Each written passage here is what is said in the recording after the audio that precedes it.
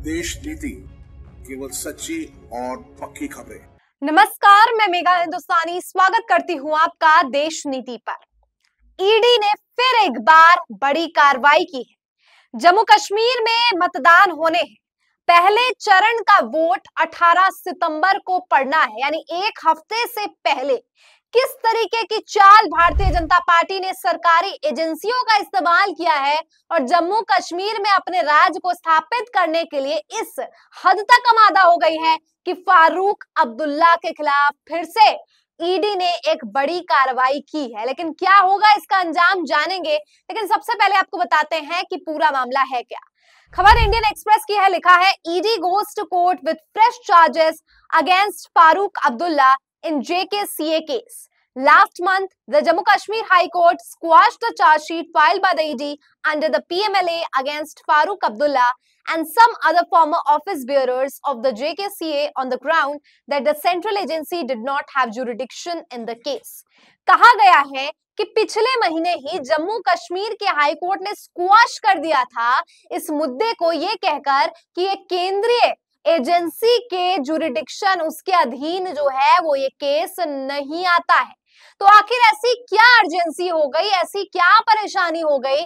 ऐसी क्या महत्वपूर्ण, या मैं कहूँ ऐसी कितनी जल्दबाजी हो गई कि ईडी को फिर से जो है कार्रवाई करनी पड़ गई? ईडी को फिर से जो है इस करप्शन केस में किस मनी लॉन्ड्रिंग का केस है आपको बताऊँगी, लेकिन पहले आपको याद दिला दूँ कि लगातार ईडी भारतीय जनता पार्टी के इशारे पर काम करता है। सुप्रीम कोर्ट ने खुद कहा था कि आप जो है पिंजड़े का तोता है।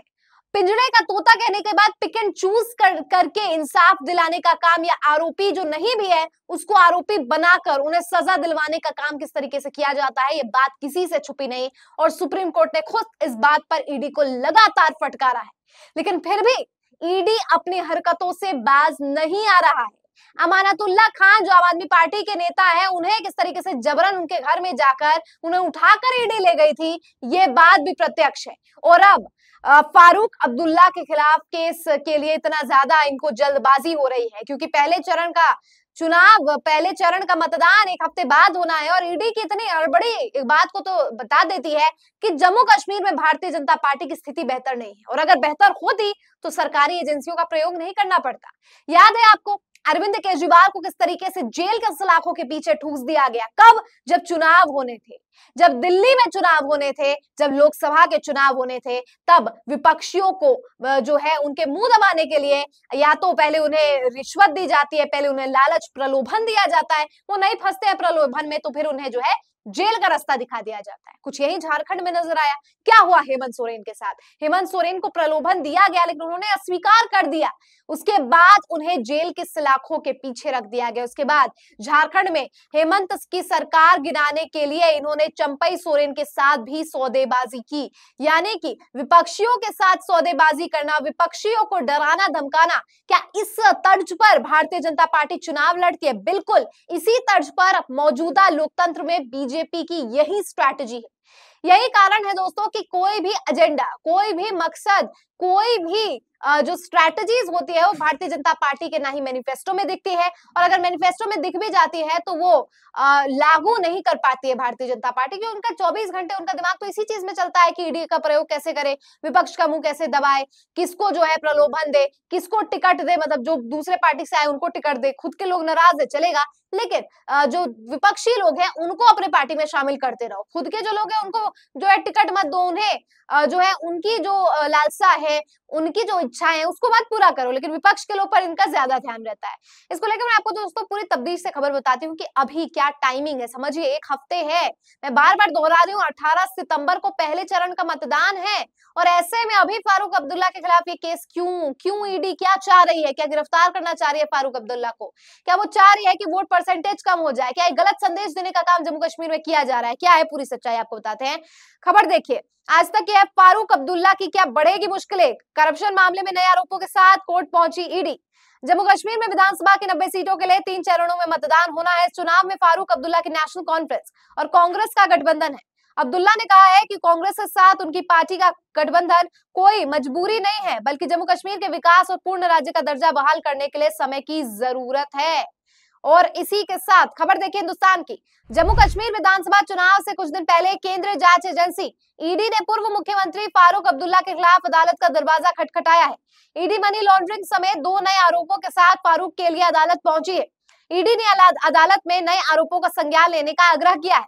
अगर अदालत याचिका स्वीकार कर लेती है तो फारूक के खिलाफ एफआईआर दर्ज हो सकती है। बता दें कि पिछले महीने जम्मू कश्मीर हाईकोर्ट ने ईडी के आरोपों को खारिज कर दिया था।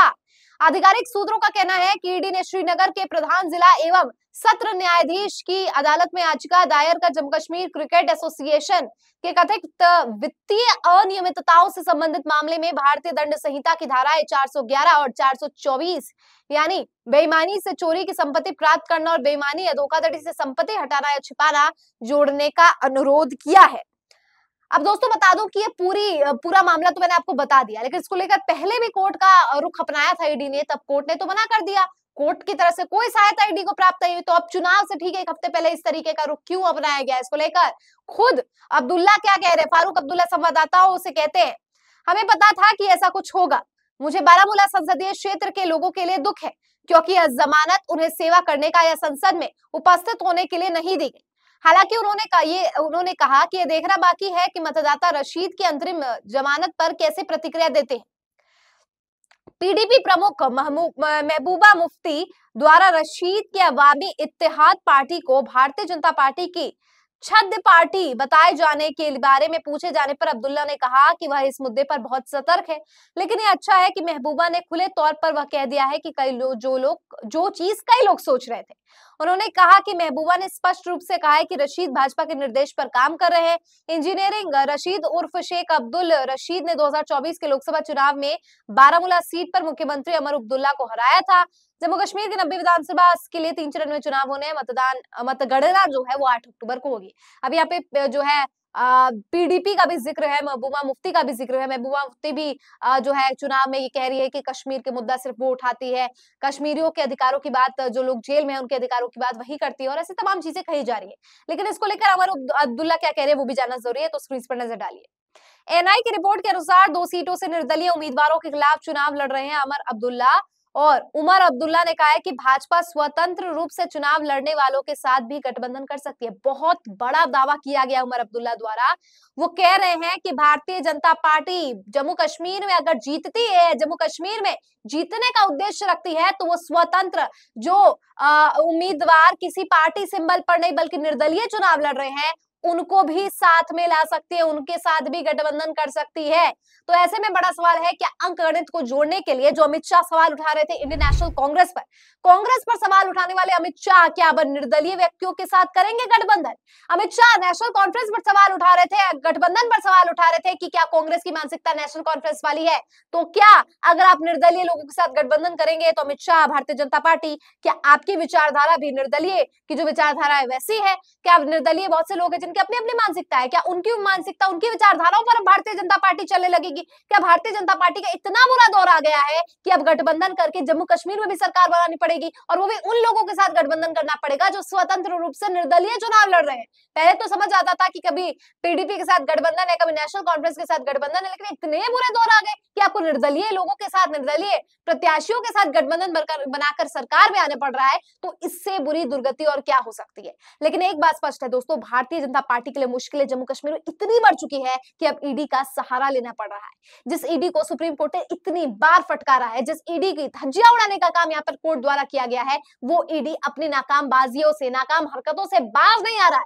लिहाजा भारतीय जनता पार्टी की टेंशन बढ़ी ही होगी, जिसकी वजह से ईडी का सहारा लेना पड़ रहा है। इसको लेकर दोस्तों, हमारे पास जो भी खबर थी, हमने आपको बताया है, लेकिन एक बात जो आपको भी सोचने वाली है, वो ये है कि आखिर ये टाइमिंग की ईडी की टाइमिंग की किसी पे केस करना है, किसी पर कोर्ट किसी पर कुछ फ़ाइल करना है कोर्ट से कुछ गुहार लगानी है, गुजारिश करना है तो ये चुनाव से ठीक पहले क्यों किया जाता है? क्यों हमेशा विपक्ष के नेताओं के खिलाफ इस तरीके के केस इस तरीके की चीज़ों जो है, थोप दिए जाते हैं? और चुनाव के समय क्यों होता है? क्या भाजपा इतनी कमज़ोर हो गई है कि विपक्ष को दबाने के लिए हर बार ईडी का सहारा लेना पड़ रहा है? एक इक्का दुक्का राज्य नहीं बल्कि देश के हर राज्य में जहाँ कहीं भी चुनाव होते हैं, वहाँ ईडी का सहारा क्यों लेना पड़ता है? दोस्तों, क्या लगता है आपको इस पूरी खबर पर? कॉमेंट सेक्शन के ज़रिए मुझ तक पहुंचाइए। फ़िलहाल मुझे दीजिए इजाज़त और देखते रहिए देश नीति। धन्यवाद।